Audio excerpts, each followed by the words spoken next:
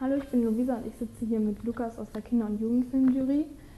Lukas, wie bist du dazu gekommen, in die Jury zu gehen? Also ich wurde letztes Jahr schon angefragt, bei der Jury mitzumachen und dann wollte ich auch sehr gerne, aber konnte zeitlich nicht. Und dann hatte ich das Glück, dass ich gebettelt habe, gebettelt habe, bitte ruft mich nächstes Jahr wieder an. Und haben sie auch wirklich angerufen und dann dachte ich, okay, dann mache ich es auf jeden Fall. Und dann bin ich sozusagen hier gelandet und ich freue mich auch voll dabei zu sein. Ich habe bis jetzt nur einmal Jury gemacht und das war dann so eine eintägige Veranstaltung und das ist ja hier eine ganze Woche, also eine ganz andere Bandbreite und ich freue mich total. Das macht auch bis jetzt super viel Spaß. Was macht am meisten Spaß dabei? Ähm, natürlich die Filme, aber auch das Austauschen mit den Mitjuroren. Also ähm, äh, ganz liebe Leute. Ich bin, wir sind ein sehr kleines Jury-Panel, nur aus drei Leuten, aber dadurch sind die Gespräche dann auch umso intensiver und dann immer direkt nach dem Film sind wir dann zu dritt und unterhalten uns über dieses und jenes und es macht sehr viel Spaß. Wer ist noch mit in der Jury und wie entscheidet ihr euch am Ende? Ja, wie wir uns entscheiden, weiß ich natürlich noch nicht. Ähm, wir haben keine bestimmten Parameter festgelegt, also dass jetzt jeder nach den gleichen Kategorien bewertet, aber ich bin mit dem Horst und der Kim in einer Kategorie und was auch ganz schön ist, ist, dass wir eine schöne Altersspanne abdecken. Also wir sind alle von unterschiedlichem Alter und auch haben unterschiedliche Filmsachen gemacht. Horst hat sehr viel ähm, Redaktion von Filmmagazinen, Filmkritiken und sowas sehr viel schon geschrieben und ähm, die Kim ist auch Regisseurin und auch Autorin.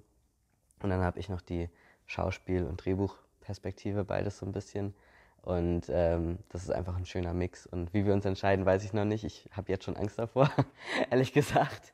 Aber ähm, ich freue mich auch drauf, weil ähm, es sind einfach so viele tolle Filme da. Und ja, es ist einfach schön, selber noch gar nicht zu wissen, was einen erwartet. Was für Filme hast du früher geschaut? Ähm, so auch in meiner Kindheit, ich meine, das ist jetzt auch nicht so lange her, daher muss ich auch nicht so tun.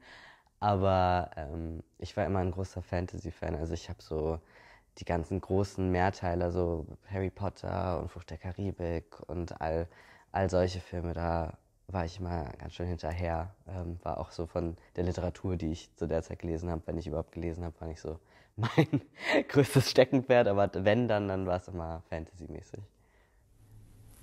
Was macht für dich einen guten Kinderfilm aus? Ein guter Kinderfilm ist eine gute Frage, weil ich finde, gerade als Kind, ist, da reichen schon so drei, vier Jahre nicht mal, es reichen noch zwei Jahre und das, du bist schon an so unterschiedlichen Orten in deinem Leben. Also zwischen, äh, was weiß ich, neun und elf liegt schon so ein große, großer Unterschied, was so die Lebenswelt angeht, dass es super schwierig ist, da glaube ich alles abzudecken. Das merken wir auch gerade in unseren Gesprächen, dass wir sind, okay, das ist ein toller Kinderfilm, aber wie ist denn das mit dem Jugendteil, weil wir ja Kinder- und Jugendfilm sind? Und wahrscheinlich wird es keinen Film geben, der alles abdeckt, aber ähm, ich glaube, was für mich einen guten Kinder-Jugendfilm ausmacht, ist, dass eine Message dahinter steht und dass sie transportiert wird auf eine Art und Weise, wo junge Menschen, die gerade noch einmal wachsen werden, im Aufwachsen auf dieser Welt sind, sie verarbeiten können und verdauen können und ähm, ja, sie annehmbar ist. Und das ist, glaube ich, das, wonach ich persönlich gucke. Ähm, aber da kommen natürlich auch immer noch ganz andere Sachen mit dazu. Wenn du selbst einen Kinderfilm drehen würdest, worüber würde er handeln?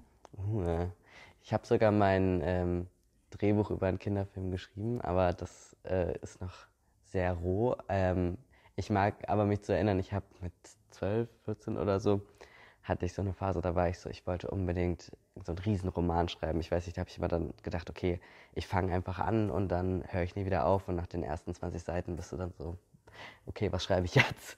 Und damals war meine Idee dann ein, sozusagen ganz viele Genres zusammenzuklashen, ein Vampirfilm, wo sie dann aber alle in einem Internat wohnen und dann haben sie unterschiedliche Kräfte und unser Hauptprotagonisten hat natürlich eine ganz besondere Kraft und das ist dann irgendwie ein Riesenproblem und vielleicht wäre das sozusagen dann meine Idee von dem Kinderfilm. Wird dann schon mehr in so Teenie-Drama gehen, aber ähm, wenn ich das irgendwann nochmal machen könnte, das fände ich natürlich sehr lustig, meine zwölfjährigen Ideen dann irgendwann umzusetzen. ja, vielen Dank für das Interview und ich wünsche dir noch viel Spaß beim Festival. Dankeschön, das hat Spaß gemacht.